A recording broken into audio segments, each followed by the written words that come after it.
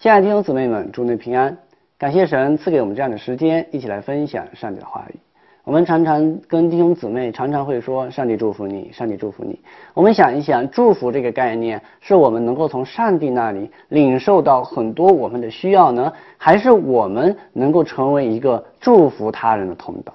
其实，上帝更喜悦的是，我们能够成为别人祝福的管道，让上帝的祝福通过我们能够流流到他人那里。这样的祝福是真正的祝福。我们也一起能够来借着圣经，能够来分享这样的一个话题。我们一起来看今天的经文，《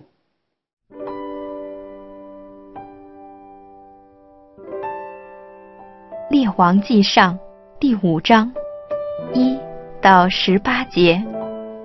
推罗王西兰平素爱大卫，他听见以色列人高所罗门接续他父亲做王。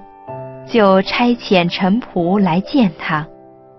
所罗门也差遣人去见西兰，说：“你知道我父亲大卫因四围的征战，不能为耶和华他神的名建殿，只等到耶和华使仇敌都伏在他脚下。现在耶和华我的神使我四围平安。”没有仇敌，没有灾祸。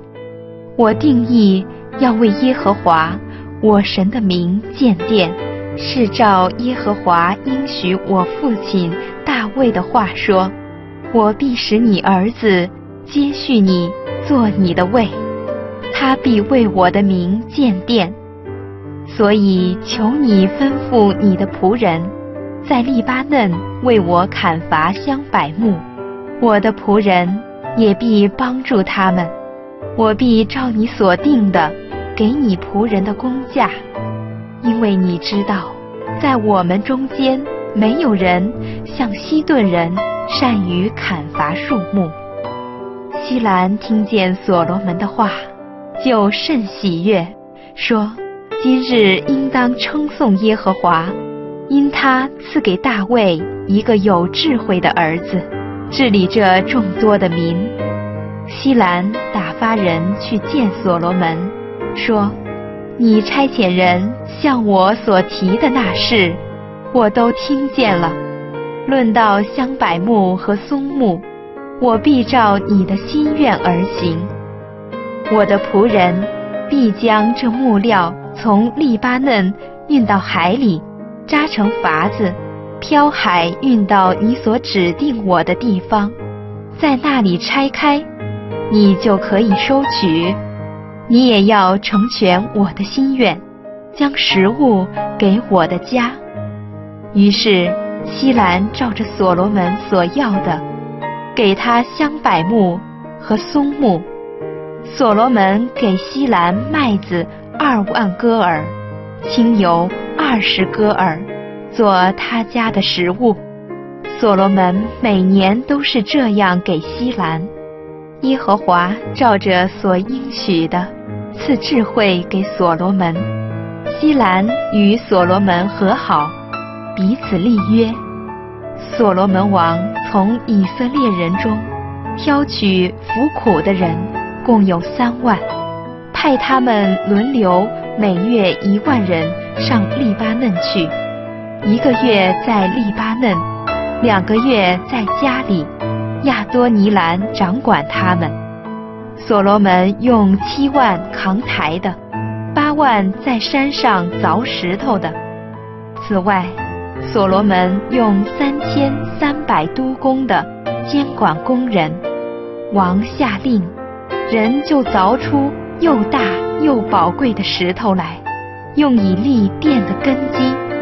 所罗门的匠人和西兰的匠人，并加巴勒人都将石头凿好，预备木料和石头建殿。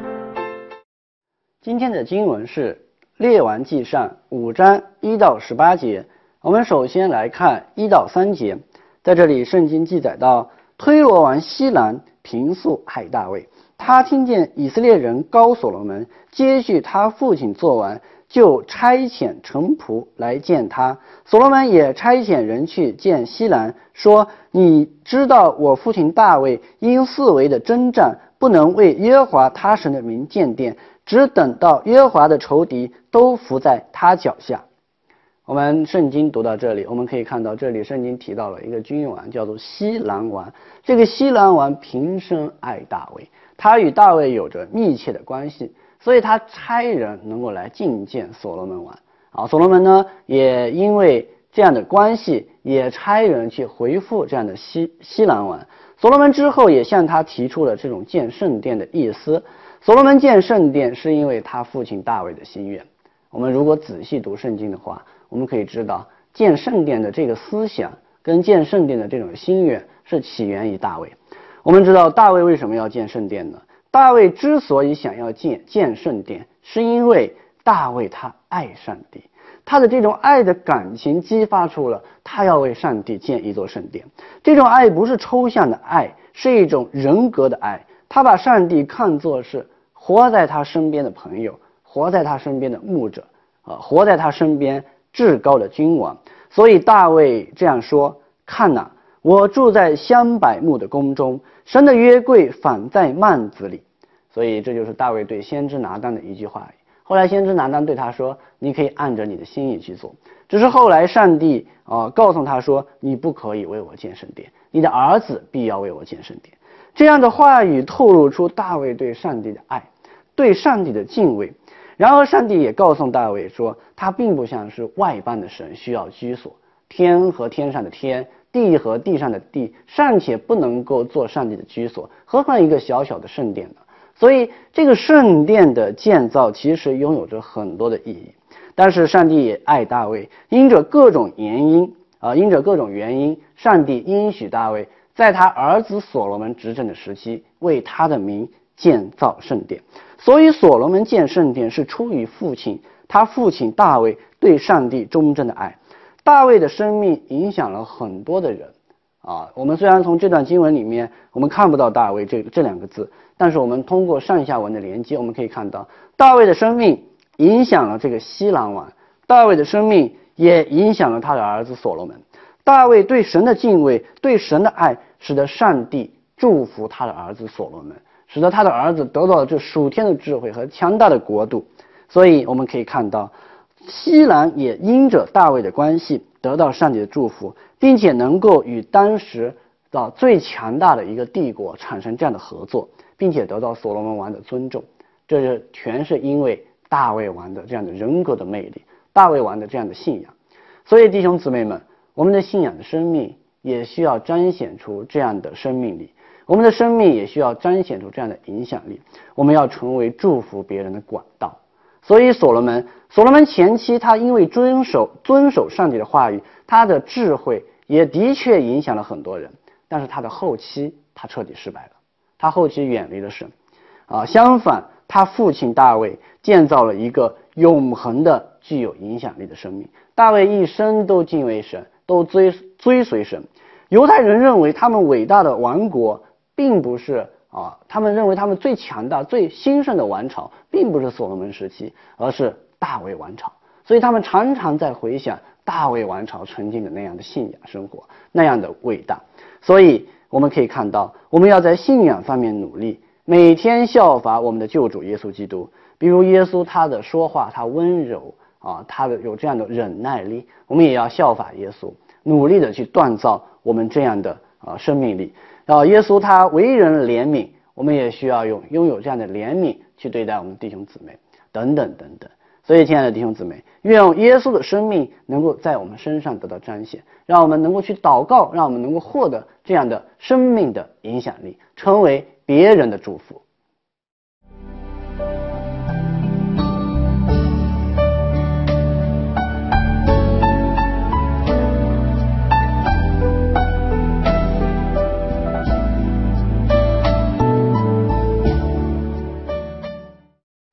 我们继续来看下面的经文。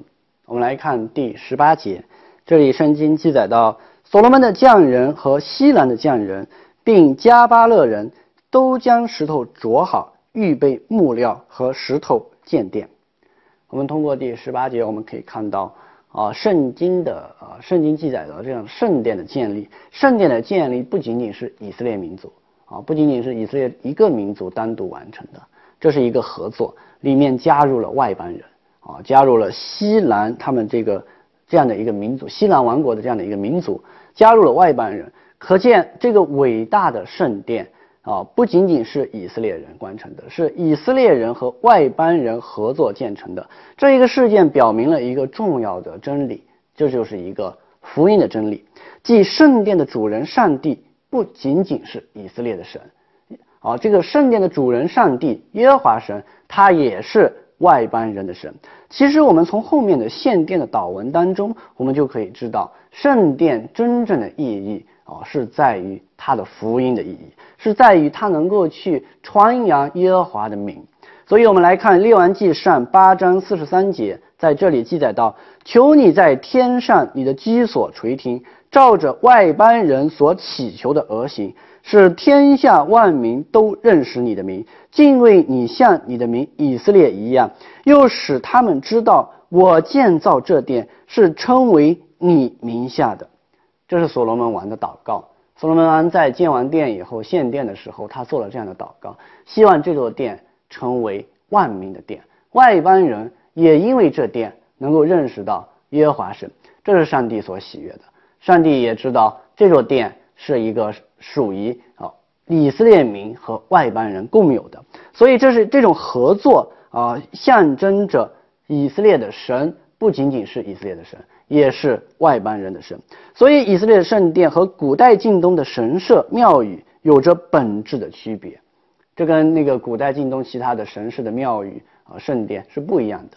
这座圣殿，耶稣在后期把它总结为一句话，称为“祷告的殿”，称为万民祷告的殿，也意味着这座以色列伟大的圣殿是万民祷告的殿，是一座传福音的殿。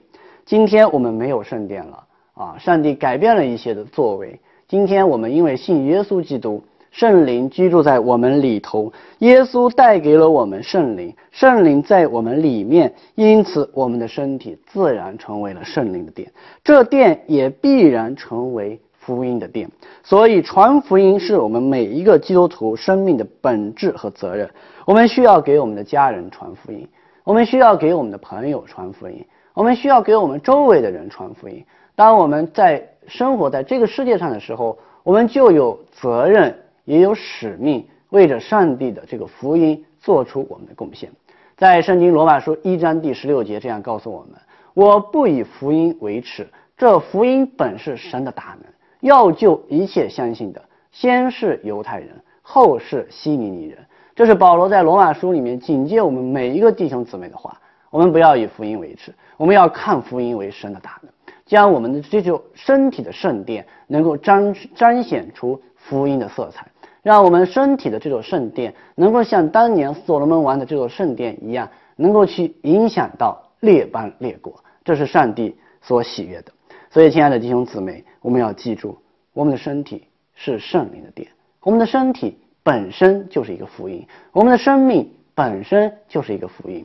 愿上帝祝福大家，我们一起来低头祷告。亲爱的天父，爱我们的主耶稣，我们满心的感谢你，赞美你。